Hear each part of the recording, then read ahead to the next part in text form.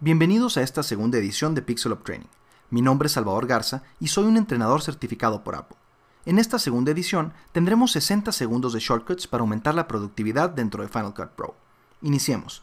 Command 1 para ir al viewer, Command 2 para ir al canvas, Q para saltar entre el canvas y el viewer, Command Shift cerrar corchete para avanzar entre los distintos tabs y Command Shift abrir corchete para regresar.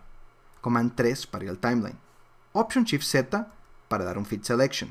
Shift Z, Fit to Window. Command A, seleccionar todo. Command Shift A, deseleccionar. Flecha hacia abajo, avanzar al siguiente Edit Point. Flecha hacia arriba, ir al Edit Point anterior. Shift flecha hacia abajo, ir al siguiente marker. Shift flecha hacia arriba, ir al marker point anterior.